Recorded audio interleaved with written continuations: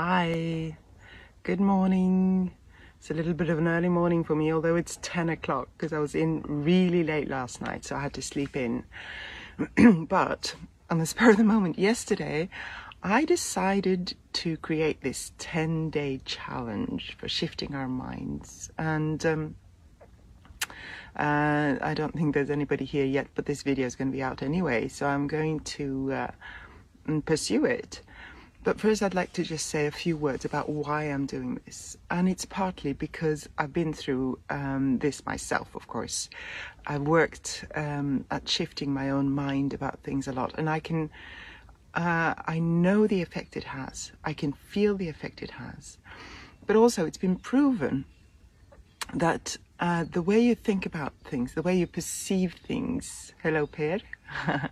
the way you perceive things. I'm talking about, hello, Alan. Nice to see you. Talking about shifting the mindset. And uh, the way you perceive things has a lot to do about the way um, that your life evolves.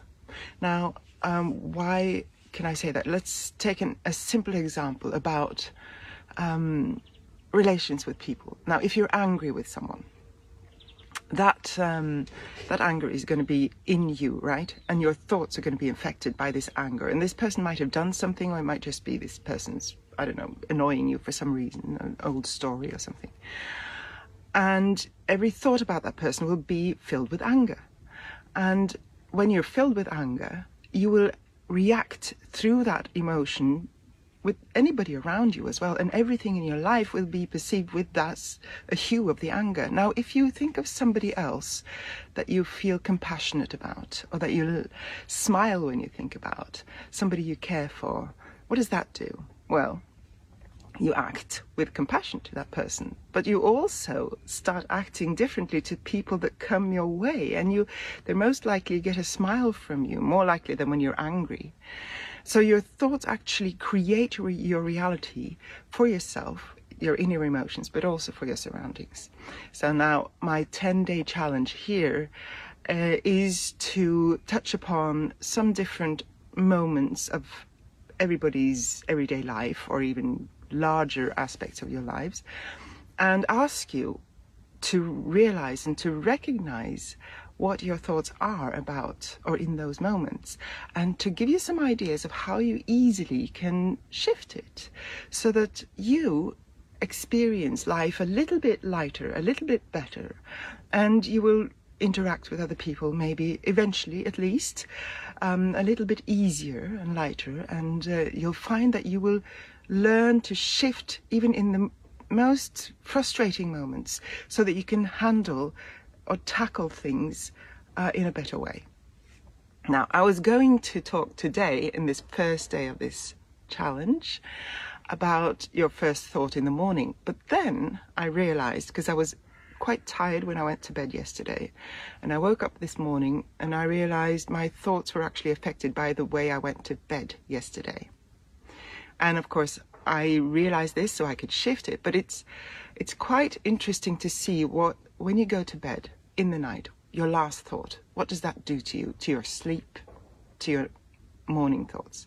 So, my challenge to you today is when you go to bed tonight, notice what your thoughts are. Maybe you're in a good place, it's not a problem really, but you can still notice. It's important to notice where you are and acknowledge it. And if you're in a frustrated place, if you've had a, an exhausting day, conflict, whatever it is, what are your thoughts as you go to bed? Are they filled with these emotions? Just notice it, acknowledge it, because it's maybe it's been a strenuous day. Maybe it's you're justified in having these emotions. It's not that we're not trying to eradicate your reactions, your emotions. We're just trying to create the shift, the experience, and the muscle of being able to shift your thoughts so that you can have a better experience in your day. Uh, and let's start with a sleep. So, what you do tonight, if you follow my challenge, take a piece of paper and a pen, and you know, science has proven that using the, the written word with your hand affects your mind much more powerfully than when you do it digi- digitally on your phone. And I don't have my phone by my bed anyway. But if you take a piece of paper and a pen and write down either one person, one situation, one object, one experience, a color, a taste, a smell, something that you like, something that you appreciate in your life, or someone, an animal, nature, anything. It doesn't matter. You choose. It can be small, it can be large. It doesn't matter.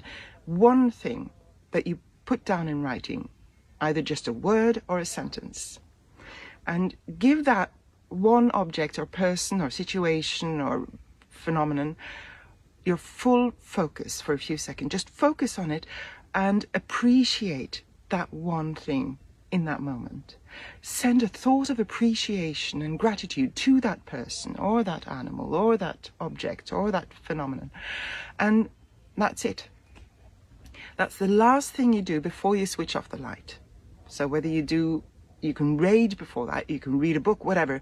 When you put it away, the book or the the radio, you're about to switch the light off, take that piece of paper, write it down, give it a few moments of focus, send this beautiful thought of appreciation, and then let it go, switch off the light, and go to bed.